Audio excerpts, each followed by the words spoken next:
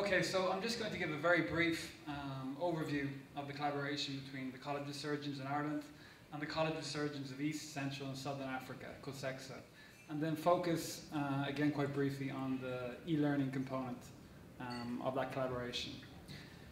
First of all, to say why there is a collaboration program.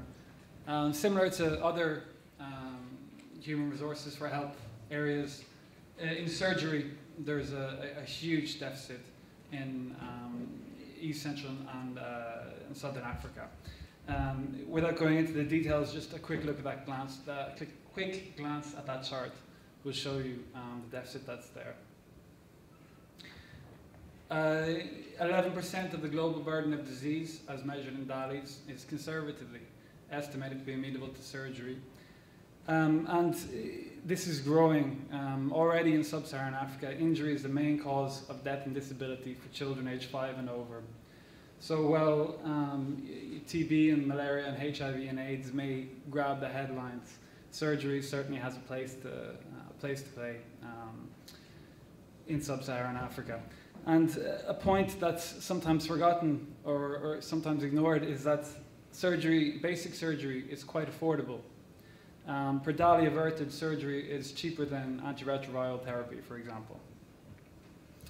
And uh, one statistic there 1,390 qualified surgeons for 265 million people in the, the COSECSA region. In Mozambique, for example, it's one surgeon per million population. The College of Surgeons of East Central and Southern Africa is, is working to train surgeons to meet this need. Um, it's developed a, a common uh, regional sur surgical training program which is undertaken uh, in designated training institutions with one common examination across the nine countries. It's a college without walls, meaning that there are 61 accredited training locations all across the region.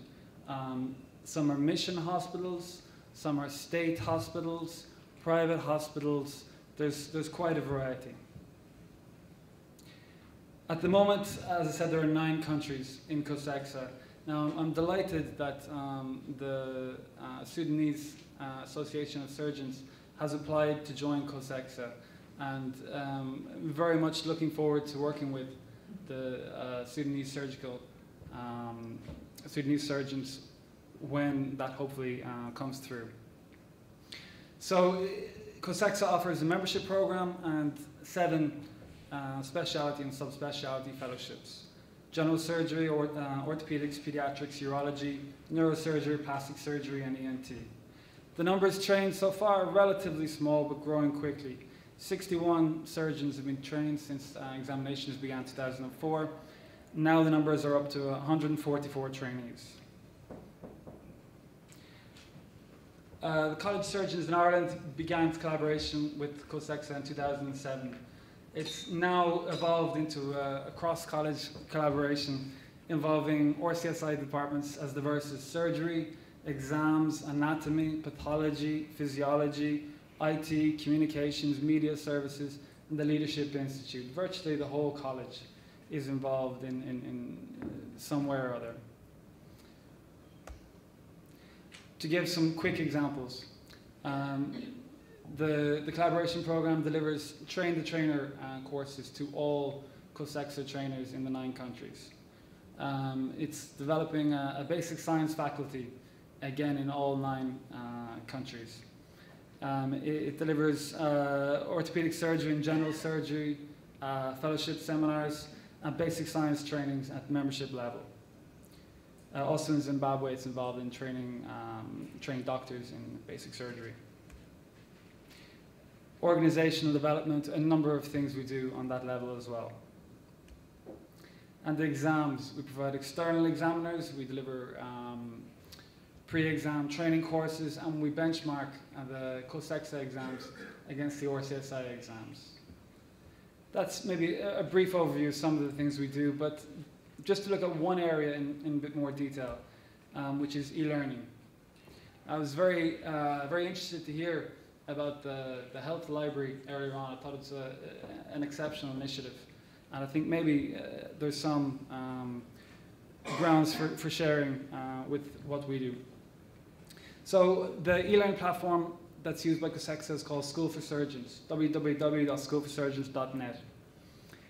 In order for uh, trainees to gain access to this, we've, um, we've created IT labs, and 19 IT labs so far in eight countries, which will be increased to 27 by the end of the year. Uh, maybe I think I'll just show you a picture. This is not a high-tech, uh, particularly high-tech lab basic uh, computers, printer copier, scanner, projector, projector screen, quite simple, just to enable trainees to have uh, reliable access to, to the e-learning site. Uh, last year, we made it mandatory for all trainees um, at the membership level to complete um, all sorry all trainees in the exam year at the membership level to complete a number of um, online case studies. This is uh, slightly experimental in a way because not all trainees have access to an IT lab. We weren't sure whether trainees would find you know, a way in which to get reliable internet access. We were very pleased with the way it turned out. 31 out of 32 um, of those who had to complete the case studies did. There's always one who doesn't. Now, just very briefly show you um, what the, the School for Surgeons looks like.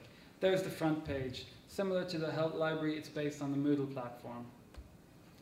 Now, this, these are a list of different courses. We're going to have a quick look at MCS, the membership level um, course for this year. So, a trainee clicks on the first case. They read down through the text. There are photos, x-rays. Um, but the main thing about this is that all the content downloads very, very quickly. There are no videos. It's all very light. Um, so, you know, it doesn't really matter what speed your internet connection is, you can get this. These are some of the trainees posting uh, their responses. It's a little bit like Facebook. Everyone has their own profile and can send messages to each other. Here is uh, well, the start of one of their answers. And then once the case closes, the trainees can see all the, all the um, responses of all of their colleagues. As someone mentioned earlier on, a lot of learning takes place, you know, trainee to trainee rather than uh, hierarchically. So they can see those responses of their colleagues. They also can see the feedback from the professors who've posted the cases. And there's also uh, a number of additional resources um, posted for the trainees to go through. So those, those are the, the mandatory case studies, and they're for all different subspecialties. That was just uh, one that I was showing there.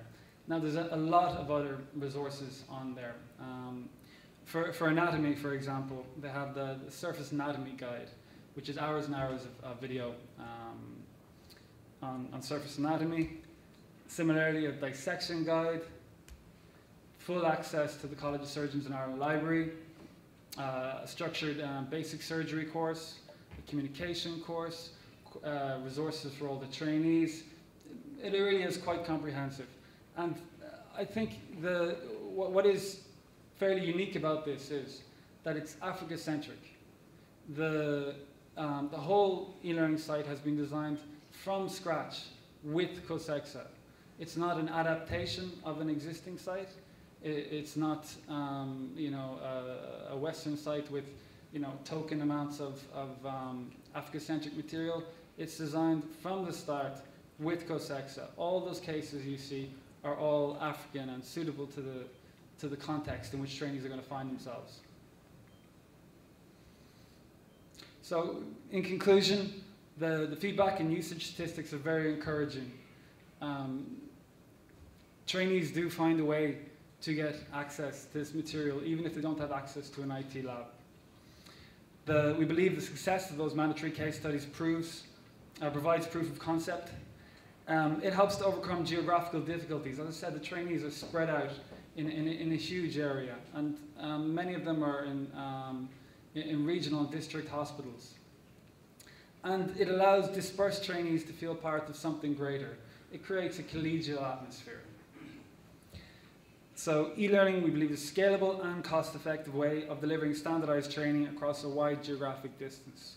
I think the, the time for people to speculate about the possible um, the possible uses of e-learning is maybe past, and now is the time, you know, to actually put these things into action. So that's that's that's a, um, a little bit about the e-learning. Just to say that you know, um, COSECSA, as I said, is growing. The training numbers are increasing. Um, e-learning is growing. Um, the organizational development is taking place. There's a, a, huge increase in training and research capacity and a greater capacity to engage with other bodies. I see the, the yellow card with with the European Championships, I hope that's the, the last yellow card or red card an Irishman is shown for the next uh, few weeks. But anyway, I'm on, on my last slide now. So, as I said, um, you know, we're delighted that Sudan uh, has applied to join COSECSA. We're looking very much forward to working um, to working with uh, our Sudanese colleagues, and uh, I think the future um, is very bright for this. Thank you very much.